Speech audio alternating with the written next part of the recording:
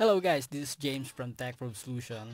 Today's video, I'm gonna show you how to transfer videos or movies from your computer to your iPhone wirelessly. I mean without using any cable. So let's start. First thing you need to do is you're gonna go to App Store. Go to search. Then search VLC. So this is the application guys. Um, I really love this app because you don't need to worry about the format of the video you want to transfer because it accepts most video file formats like MP4, WMV, MOV, even 3GP and more. So install it, then open it. I'm gonna go now to my computer. Open your internet browser. So I'm gonna open on my internet browser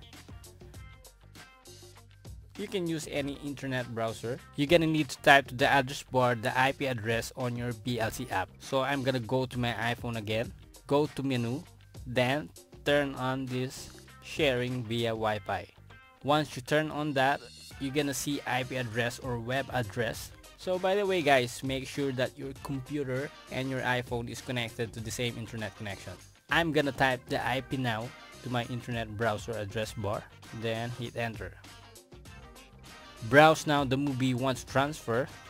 Again, you don't need to worry about the format of the video you want to transfer to your iPhone. Just locate your video, then drag your video here like this.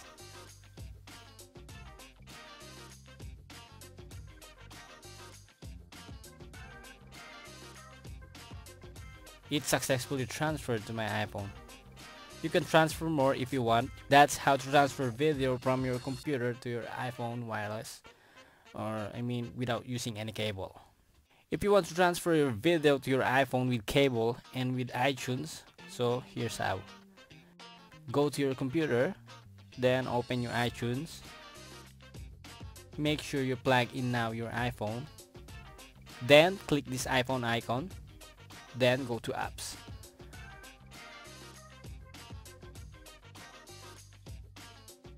Then scroll down. Then you're gonna find VLC here. Click it. Then browse now the video you want to transfer.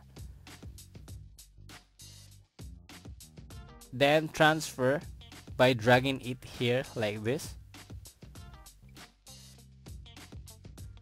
I'm gonna transfer more